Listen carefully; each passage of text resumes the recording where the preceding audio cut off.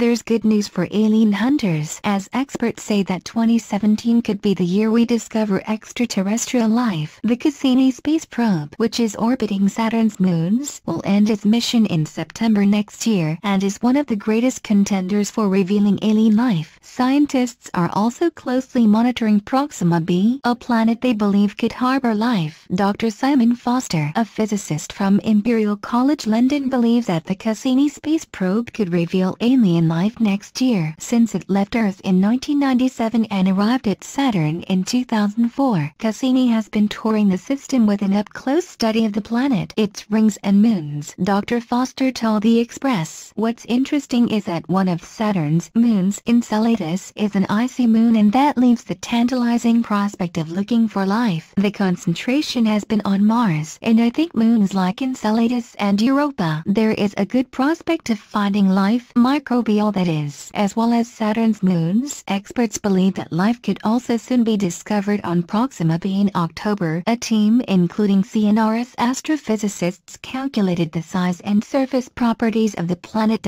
Proxima b and concluded it may be an ocean planet similar to Earth. Scientists announced Proxima b's discovery in August and said it may be the first exoplanet to one day be visited by robots from Earth. The planet orbits within a temperate zone from its host star Proxima Centauri, some 4 light-years from us. The discovery of possible planet around Proxima Centauri is very exciting. Professor Philip Lubin from the University of California, Santa Barbara, told Universe Today it makes the case of visiting nearby stellar systems even more compelling. In 2017, astronomers will closely monitor Proxima b and its sun using a collection of giant telescopes, including the European Extremely Large Telescope, in the hopes of finding evidence of life. Dr. Foster added, We don't know hardly anything and when we come up against something we don't know or doesn't fit into our current understanding, it is quite nice to say that it could be aliens, whereas a lot of it is just a phenomena that we haven't discovered. Either way, there is a breakthrough just around the corner.